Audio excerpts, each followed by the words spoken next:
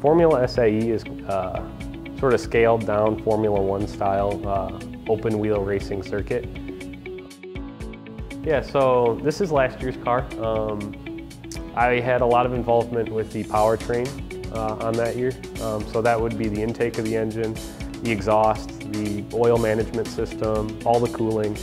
So really the whole powertrain. So I took it upon myself to become the powertrain lead for the team and been really rewarding. I've learned way more than I could have expected.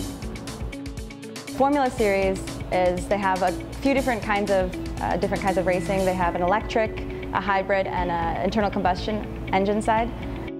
I'm actually the electrical uh, lead, so I design and fabricate all electrical components.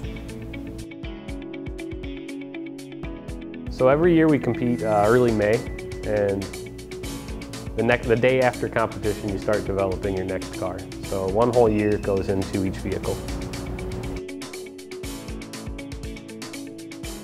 There's a bunch of uh, teams from Germany, China, and Australia, um, but mostly uh, the United States.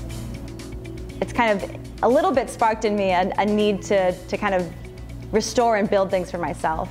So I think eventually I'm going to get, you know, myself a project race car and we'll, and we'll see. We'll see what happens. We're, uh, we're the Lawrence Tech Blue Devils.